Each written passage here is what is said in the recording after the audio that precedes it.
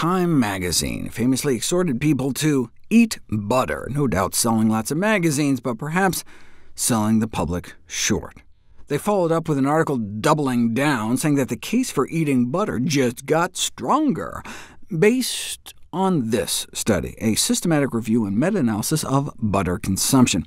Pooling all the studies, each daily serving of butter was associated with only a 1% higher risk of death. Wait, this is the study making the case stronger to eat butter? Uh, further, the study suggests that swapping like a spoonful of oil in place of butter every day would drop the risk of diabetes 8%.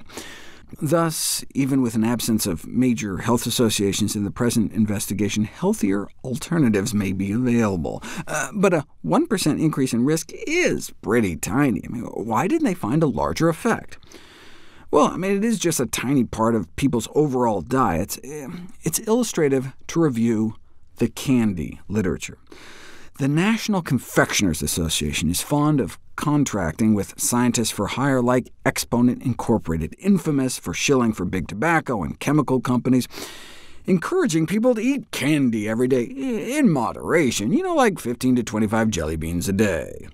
Parents who restrict foods in an attempt to moderate a child's intake of calories are just gonna make their kids fat.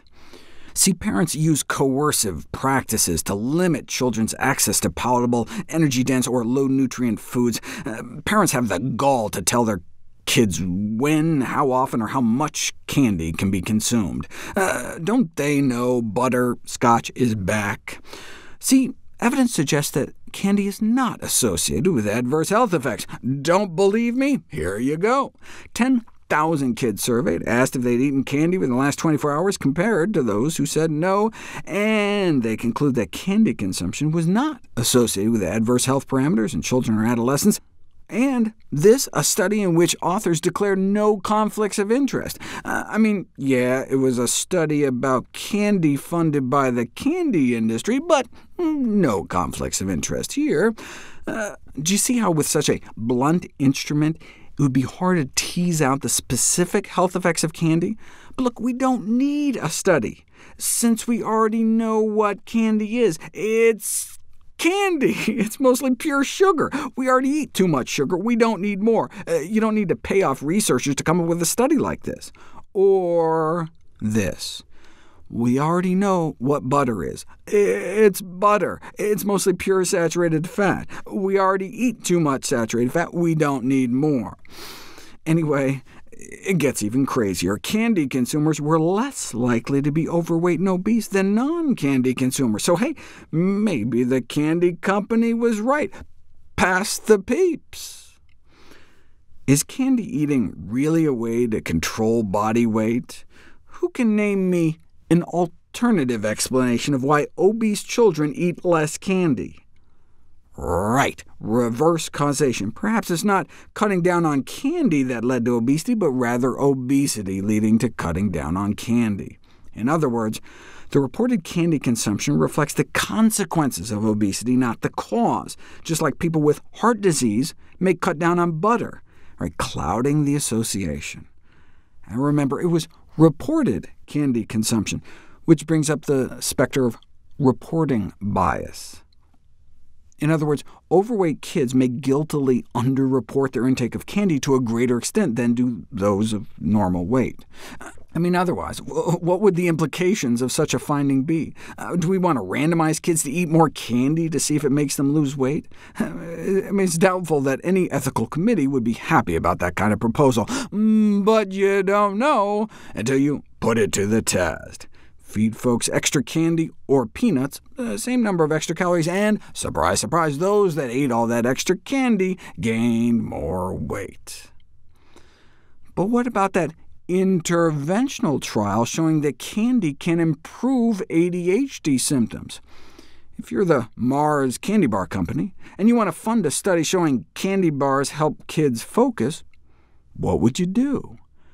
The parents were sent a formal letter instructing them to send their kids to school hungry without breakfast, and then gave them a candy bar, or basically nothing, an aspartame beverage. And what do you know, feeding kids something rather than nothing enhanced their ability to stay on task. Uh, that reminds me of the famous Frosted Mini Wheats ad, clinically shown to improve kids' attentiveness by nearly 20%, with the really fine print explaining that this was compared to kids that ate nothing at all. Butter has been put to the test, too. Give people a single meal with butter, and you get a boost of inflammatory gene expression within just hours of consumption, significantly more than the same amount of fat in olive oil or particularly walnut form. You can randomize people to foods made with all sorts of different fats, and butter was shown to be the worst in terms of LDL cholesterol.